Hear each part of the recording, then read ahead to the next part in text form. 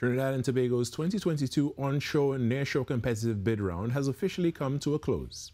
A total of 11 blocks located in the southern basin were made available for energy exploration and production proposals over the last six months.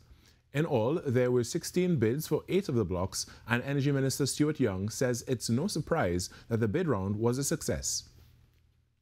It is a show of confidence by the existing players and a couple new ones coming in and onshore. It's a lot easier to produce onshore and a lot less costly. So this is what we expected. Trinidad and Tobago is a mature province. He says successful bidders will be announced in three months' time and outline the criteria to be met. The ministry has updated its exploration and production licenses, which is the tax royalty regime to ensure that it is as robust as possible through rigorous standardization and optimization of provisions and agreements.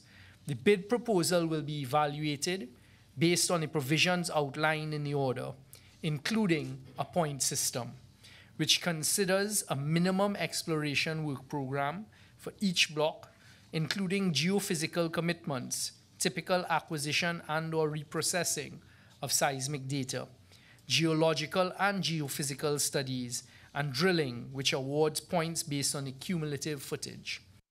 Meanwhile, Minister Young has confirmed that plans are being made to launch a shallow water competitive bid round in the first quarter of 2023. He said over 20 blocks will be available for inclusion in this bid round.